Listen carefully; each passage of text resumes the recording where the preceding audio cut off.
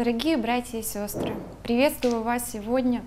И мы сегодня вечером будем открывать свои сердца перед Господом и принимать то, что Он приготовил для нас. В это время это очень важно для каждого из нас, и для меня тоже. Давайте сейчас вначале помолимся. Дорогой наш Небесный Отец, мы открываем наши сердца перед Тобой и просим, чтобы Слово Твое, оно касалось нас, изменяло наши жизни.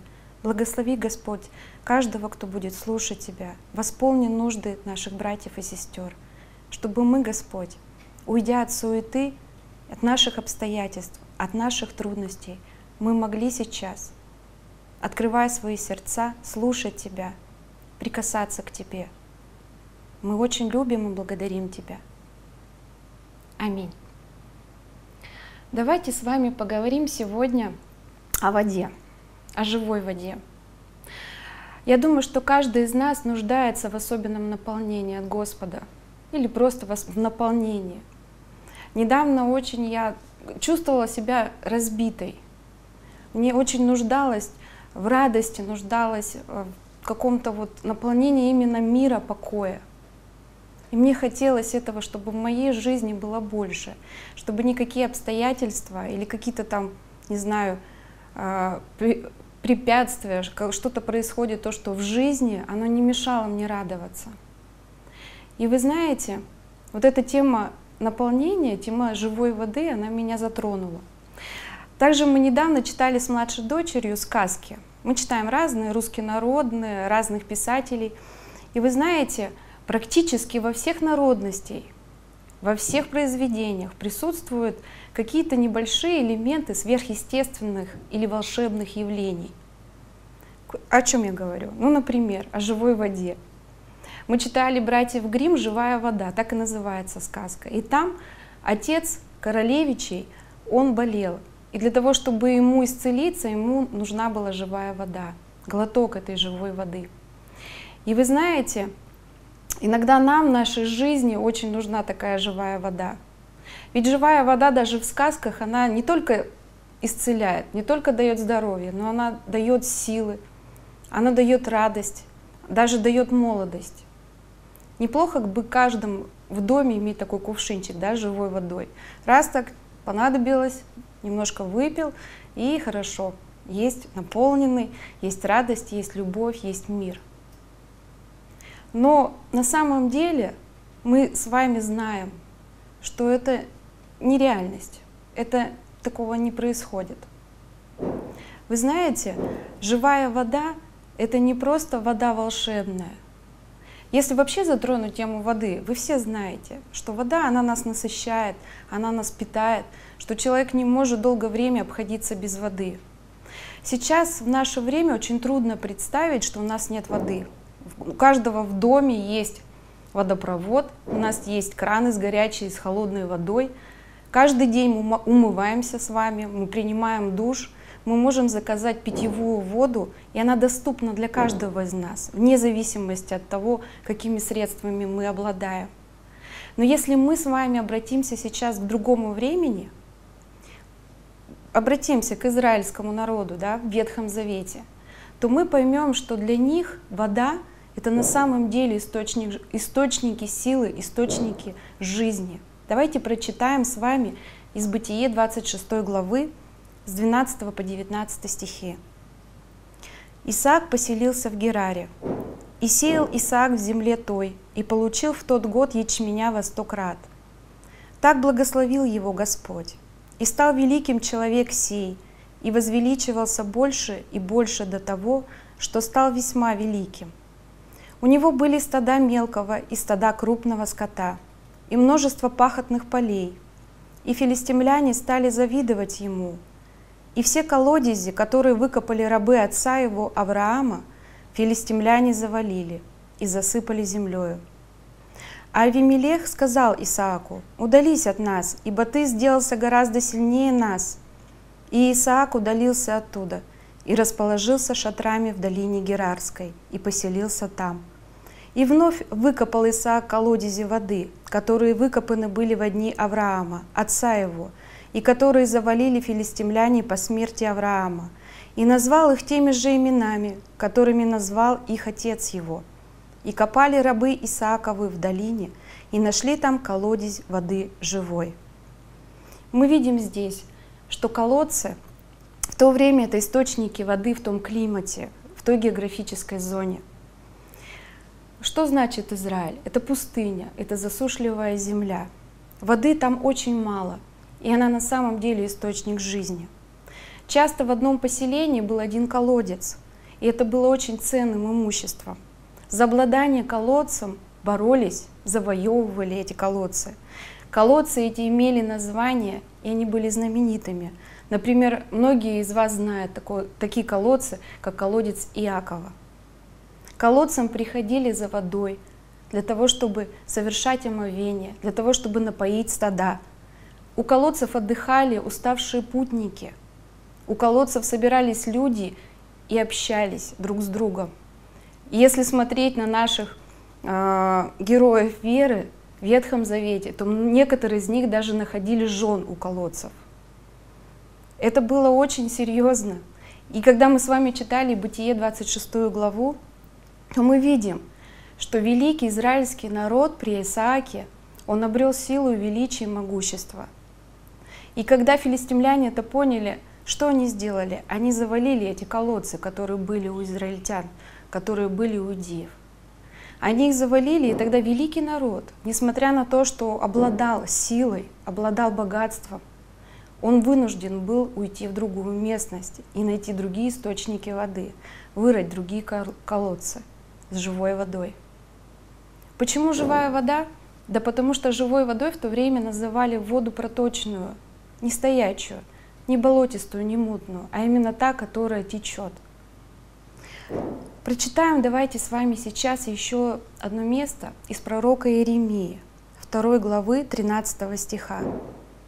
«Ибо два зла сделал народ мой, меня, источник воды живой, оставили и высекли себе водоемы разбитые, которые не могут держать воды». Прочитаю еще раз. «Ибо два зла сделал народ мой, меня, источник воды живой, оставили – и высекли себе водоемы разбитые, которые не могут держать воды. И здесь мы видим на примере израильского народа, что когда оставляются одни источники воды, то вынуждены искать другие. Если нет одного колодца, то тогда идут к другому колодцу, чтобы жизнь была в народе, чтобы жизнь была у человека. Мы также в нашей жизни мы с вами строим такие колодцы, которыми ходим для того, чтобы наполниться.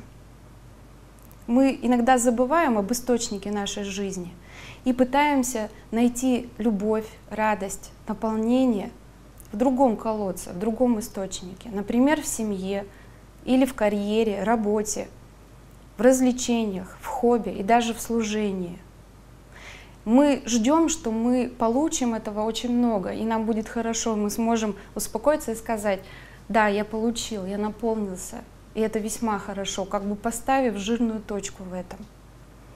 Но мы, бывает, часто разочаровываемся, приходим к такому выводу, что мы не получаем того, что мы хотели. Либо же получаем это наполнение, эту радость или любовь, или мир, но на время – на краткое время. Либо же то, что мы получаем, это ну, не то, что мы ожидаем получить, как подделка под оригинал. Вы знаете, маленькие дети, они любят играть. Ну, вообще для детей это нормально, да, основной вид их деятельности — игра. И вот когда они маленькие, мы покупаем им игрушки, то тогда они почему-то в них очень редко играют. Я заметила, что когда маленькие дети играют, они любят это делать со взрослыми вещами. Их не интересуют мишки, зайки, мячики, часто их интересуют телефоны, ноутбуки, пульты от телевизоров, ну, там, мешки, пакеты, а, еще какие-то вещи. И вот производители игрушек, они додумались до того, что они сейчас делают эти взрослые, ну, как бы вещи, те же гаджеты, те же телефоны, но делают как подделки. То есть внешне, если взять телефон игрушечный, иногда можно не определить, настоящий он или нет. Но я вам скажу точно, с опытом мамы двух детей, что когда дети берут в руки такую вещь, они через две минуты с легкостью могут распознать, что это подделка, что это не настоящее, и не будут с этим играть. Почему же? Внешне это все то же самое, но когда они берут это в руки, они видят, что нажимая на кнопочку, они получают не то, что они хотели, не тот результат. Это подделка. Или когда мы в семье, когда приходишь домой, ты встречаешь своего ребенка, свою дочь или своего сына, или мужа, или маму, родителей, ты обнимаешь, ты говоришь, как прошел твой день. А, Ребенок говорит, что тебя очень сильно любит, целует тебя в щеку, и ты рад. Наполняет тебя любовь, наполняет тебя некий мир, когда ты приходишь, допустим, из каких-то трудностей, да, рабочих будней, приходишь в дом и получаешь это наполнение. Но мы все знаем, что в семье не всегда обнимают, не всегда целуют в щеку, не всегда радуются твоему возвращению. В семье происходят и конфликты, ссоры, разногласия. Дети, которые тебя обнимают, они могут выражать свою, свою непокорность. Или раздор произойдет между супругами. И тогда это наполнение исчезает. Получается, то, что мы пытаемся найти, оно немножко не то, оно, ну, оно совсем даже, скажем, не то, оно кратковременное. Это как вот разбитый колодец. Вот вы сейчас увидите картинки с разбитыми колодцами. Вот если на них внимательно посмотреть, то в них все время что-то будет не до конца, что-то будет не так, они разбиты. Или они будут заросшими, не будет тропинки колодцу, вокруг будет расти трава, и туда будет очень сложно добраться до этого колодца. Или там будет слом, не будет ведра, нечем будет почерпать воды. Или часть этого колодца, они будут сломанными, и невозможно будет опустить ведро в воду. Или же, опустив ведро в воду, ее там не будет, или она будет, но ее будет мало, и она будет мутной, непригодной водой для питья. То есть все, все, что мы получим, это, оно будет не таким. Хочу еще прочитать вам из Еремея, вот мы читали только что Еремея 2 глава 13 стих, прочитать в современном переводе Российского библейского общества. «Два преступления мой народ совершил. Он оставил меня, живой воды источник, а себе искусственные водоемы сделал. Водоемы эти растрескаются, воды удержать не смогут». И сразу прочитаю из Иеремии 17 главы 13 стиха. «Отступающие от меня будут написаны на прахе, потому что оставили Господа, источник воды живой». Очень часто мы не просто ходим да, к чему-то или пытаемся от каких-то вещей наполниться, забывая о Господе. Очень часто мы сами по себе являемся разбитыми колодцами, растресканными источниками воды – потрескавшимися родниками, которые не держат воду.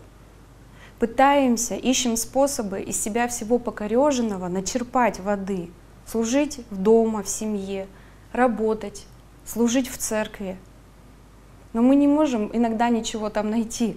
Или мы пустые, или то, что есть, этого очень мало, или это негодно. Вы знаете, у меня на даче есть глиняный кувшин. Он мне очень нравится. Я его увезла на дачу, потому что когда раньше я его использовала а, для того, чтобы ставить цветы, наливала воду и ставила цветы. И вот однажды я поставила цветы, и буквально через какое-то время я смотрю, а воды там нет. И я думала, куда делась вода. Но я увидела, что он стал трескаться, этот кувшин. Он был мелкую такую трещинку. И вы знаете, вода, она стала уходить. Это было незаметно. Это не так, когда у вас в руках трескается чашка, из нее выливается вода. Нет, в этом кувшине есть вода, но она уходит потихоньку, незаметно. Также мы с вами, мы с вами, наполнившись чем-то, если мы снова не приходим к этому, снова не наполняемся, то потихонечку то, что есть в нас, оно уходит. Мы можем даже этого не замечать в суете каких-то дел или в служении или в работе, или в круговерте нашей жизни, но это потихонечку уходит из нас. Неприглядная картина да, разбитого колодца или растресканного колодца, не, мог, не могущего удержать в себе. Я хочу вам показать немного иную картину. Давайте прочитаем из песни песней 4 глава, 12-15 стихи. Я прочитаю снова в современном переводе Российского библейского общества. «Невеста, сестра моя, запертый сад, дверь закрытая, родник запечатанный, вдоль каналов твоих заповедный сад, там гранаты и разные плоды, там хна с нардом, там нард с шафраном, имбирь и корица, ладан, мира, алоэ, все лучшее благовоние. Родник посреди садов, колодец со свежей водою, потоки с ливана бегущие. Совсем иная картина колодца, совсем иная картина родника со свежей водой. Хотим ли мы быть таким источником, наполненный такой живой водой? Мы здесь видим, что приходит возлюбленный, Господь, жених, и он называет свою невесту таким колодцем. Он называет свою невесту, церковь, таким родником, источником свежей воды. Хотим ли мы быть таким источником? Хотим ли мы быть таким колодцем, когда, читая даже вот эти строки, ты можешь себе вообразить или почувствовать да, и запахи, и красоту того, что происходит, описываемое там. Хочу прочитать еще интересную историю, которую вы все знаете.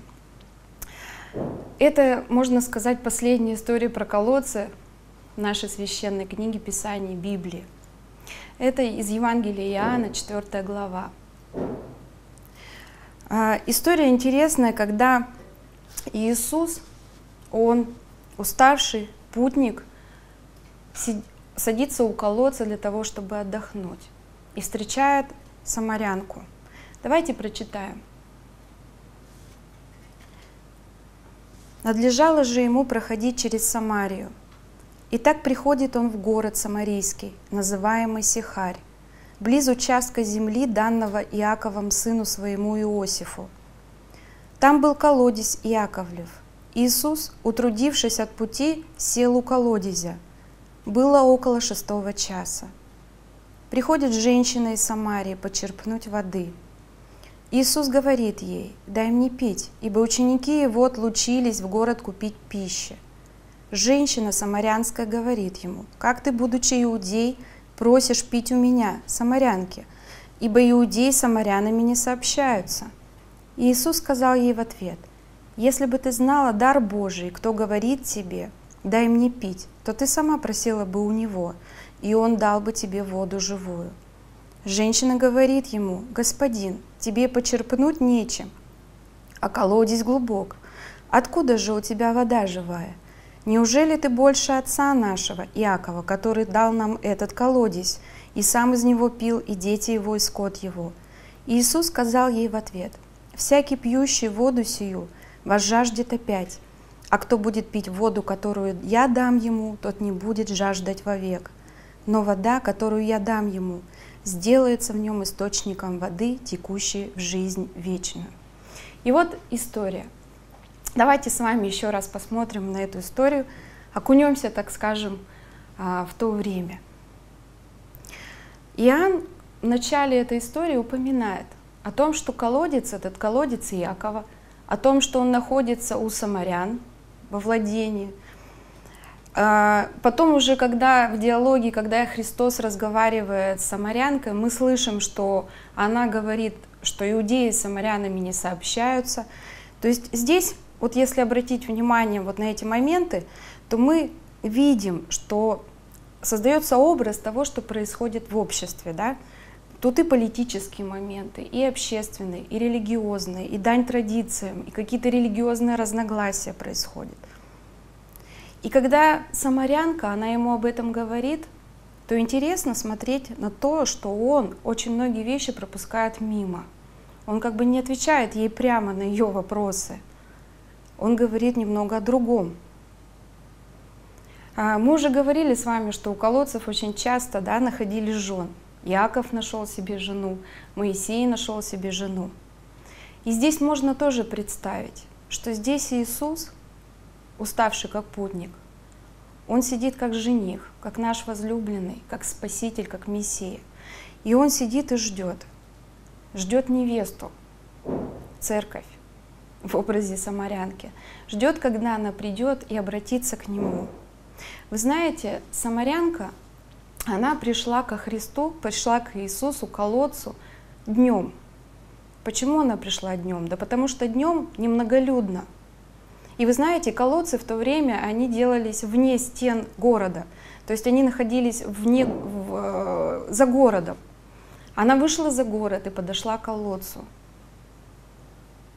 Мы тоже такой же, как, как самарянка с вами. Я, вы, мы все вместе люди в этом мире.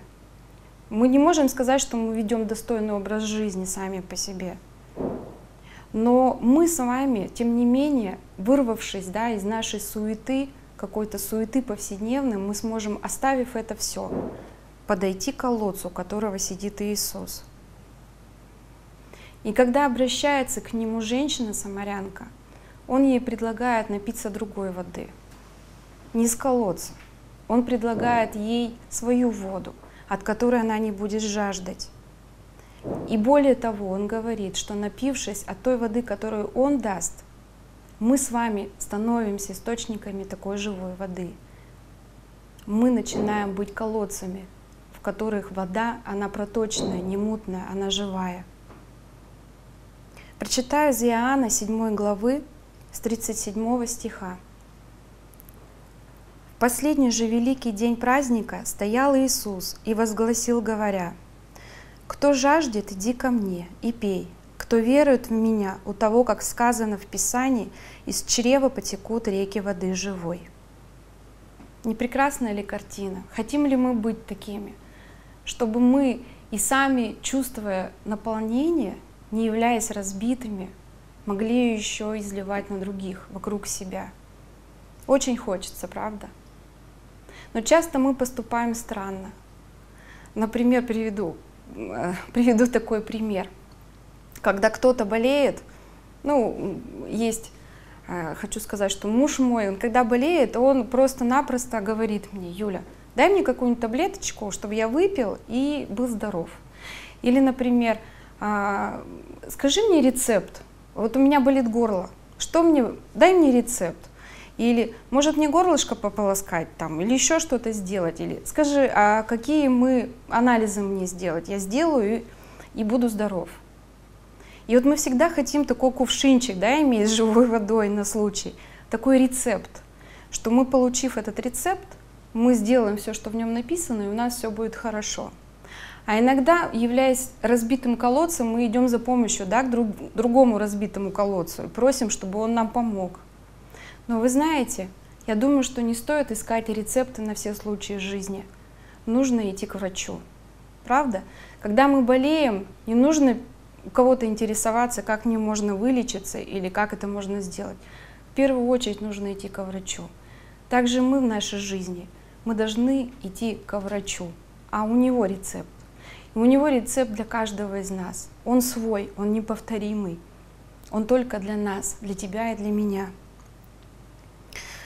Как же нам это сделать? Бывает так, что мы с вами отдаляемся от Него. И вот эта отдаленность от Бога, она мешает нам. Нам мешает быть рядом с Ним.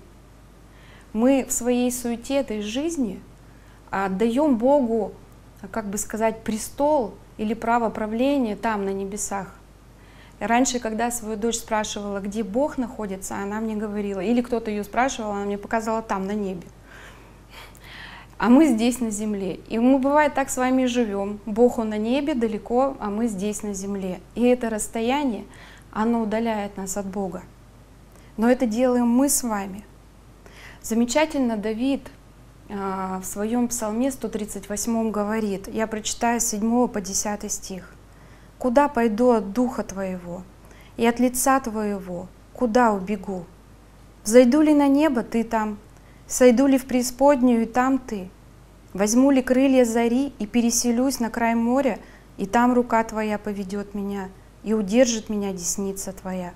Вообще весь 138-й псалом — это о том, что мы понимаем, что Бог везде, Бог рядом, Бог во мне.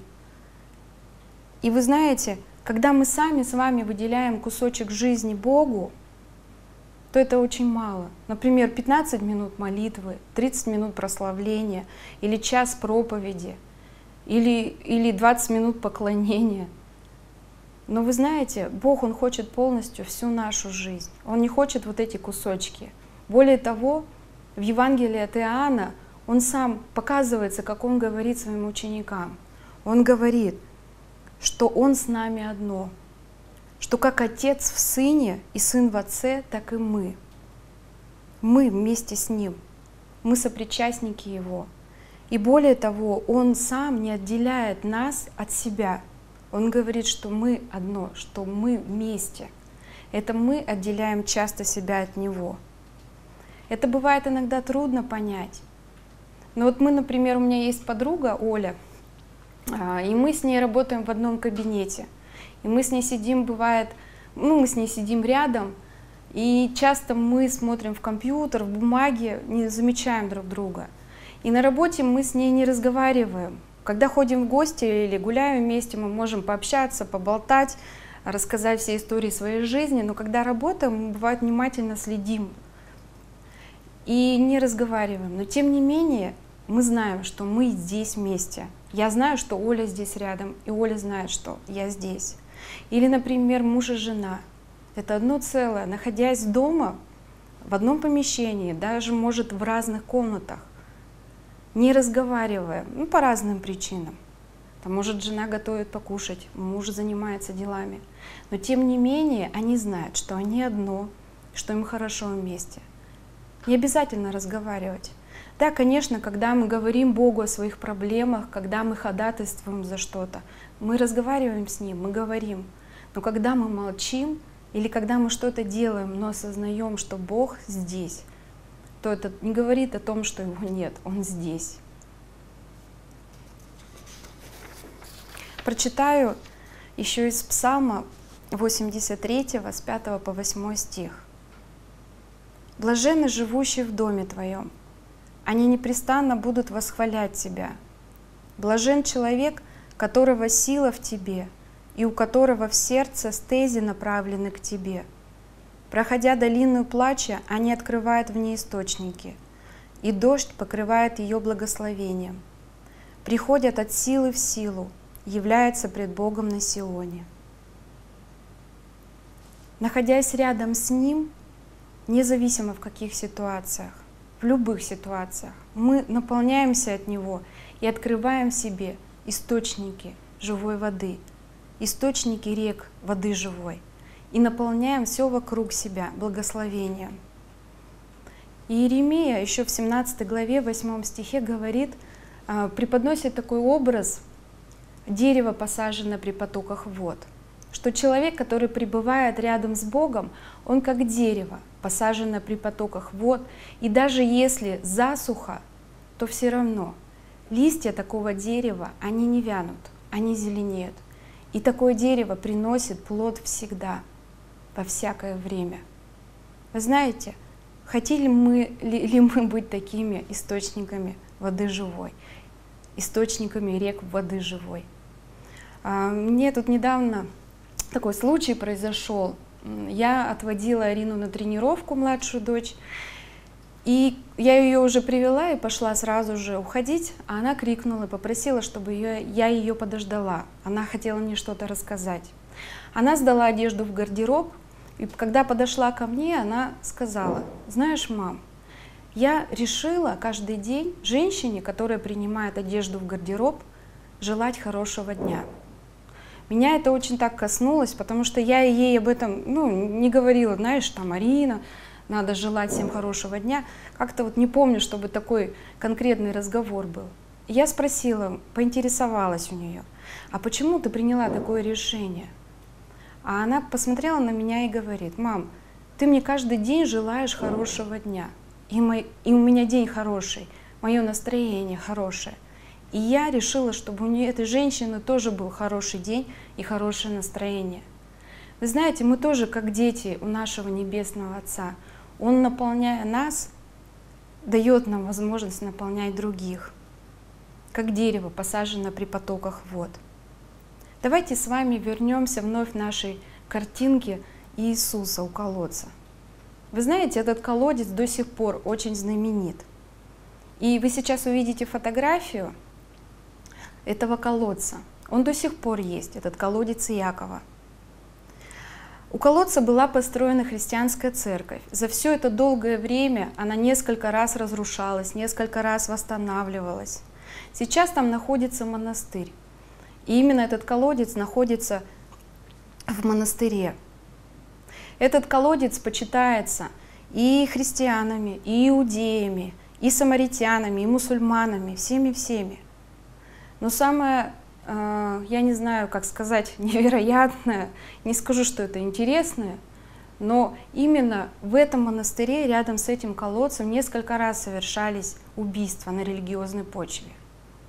Несколько человек были убиты, потому что они были другого верования, не похожими на, на тех людей, которые боролись за правду, за свою религиозную правду. Давайте вспомним, как в Евангелии от Иоанна в 4 главе. Иисус сидит у колодца. Колодец находится за пределами города. Самарянка в безлюдное время выходит из города, чтобы набрать воды. Иисус предлагает женщине изменить ее жизнь. Иисус предлагает нам менять свою жизнь, предлагает испить от Него воды живой. Что выбираем мы с вами? Можно сказать, как самарянка. Помните в 12 стих, стихе, что говорит ему самарянка? Она говорит, «Неужели ты больше отца нашего, Иакова, который дал нам этот колодец, и сам из него пил, и дети его, и скот его?» Можно сказать так, сказать, что зачем мне нужна, Иисус, твоя живая вода? Вот, это колодец. Мы из него все пили, наши деды пили, и наши отцы пили. Я буду дальше пить из него. И остаться как религиозные верующие, которые до сих пор находятся там, рядом с колодцем Якова. И твоя жизнь, она не изменится, она останется прежней, а может быть изменится, но не в ту сторону. А можно сделать другие выводы для себя – во-первых, это наше решение. Я, независимо от суеты и дел, которые есть у меня, я выхожу к Нему. Я иду за границы всего того, что у меня есть. Выхожу за город, и в то время, когда никто мне не помешает. И второе — это выбор. Когда передо мной есть колодец, пусть даже знаменитый колодец Иакова, но рядом с ним Иисус, я выбираю всегда Его — я обращаюсь всегда к Нему. Хочу про прочитать в конце Откровение Иоанна Богослова, 21 глава, 6 стих. «И говорит здесь сидящий на престоле Иоанну, совершилось. Я есть Альфа и Омега, начало и конец. Жаждущему дам даром от источника воды живой». Вы знаете, Бог на протяжении всего, всей истории, всего священного Писания, всех тех поколений, которые веровали в Него и шли за Ним, Он проводит эту мысль, что мы можем только наполняться и только, как сказать, исполняться Духом Святым, исполняться живой водой, нести спасение и в своей жизни, для других людей только тогда, когда пребываем рядом с Ним. Ничто другое не может заменить Христа в нашей жизни. Никакая подделка не может заменить оригинал. Не нужно нам искать другие колодцы, не нужно нам отворачиваться от источника живой воды. Вот Он здесь, Он рядом, Он не на небе, а мы на земле, Он здесь, Он в нас. И каждый раз, когда мы, отвергая суету, останавливаясь, обращаясь к Нему, понимая, что Он рядом, мы наполняемся от Него. Давайте не будем искать рецепты и правила, по которым нужно следовать. Давайте всегда в первую очередь обращаться к Нему и искать у Него источники воды живой. Давайте с вами вместе будем такими источниками, чтобы те, кто находится рядом с нами, там, где потрескалась почва, там, где засушливая земля, в пустыне, в долине плача, мы из себя открывали эти источники воды живой, и изливая ее, на ней израстала зелень, красивые растения, как говорили, мы читали песни песней, там были специи, нард, там был шафран, то есть это были благовония, которые невеста, церковь, мы с тобой можем принести для своего возлюбленного, как благоухание его славы. Давайте сейчас закроем глаза и помолимся. Нам всем это нужно. Мне очень сильно этого, ну, это нужно, потому что каждый день прожитый без него, без его наполнения, он, он как бы зря прожитый. Он не, достигнул, не достиг того, что мы могли сделать в этот день. Мы не прославили Христа, мы не, на, не были рядом с Ним, мы не наполнились от Него. Давайте с вами сейчас помолимся, склоним головы. Дорогой наш Небесный Отец, мы благодарим Тебя за то, что Ты в нас, то, что Ты рядом нас. Ты нас соделал сопричастниками божеского естества. Ты сказал, что мы Твои дети, и Ты наш Отец, и что мы с Тобой есть одно. И Ты источник нашей жизни, источник нашего спасения. Мы не отвергаем Тебя как источник нашей жизни, нашего спасения. Мы прибегаем к Тебе — и мы не собираемся строить искусственные растрескавшиеся родники, источники. Не собираемся приходить к разбитым колодцам. Но мы будем у Твоих ног познавать Тебя, наполняться Тобой. И мы хотим, как говорит Священное Писание, чтобы из нашего чрева текли реки воды живой и наполняли, принося плод вокруг все, что есть.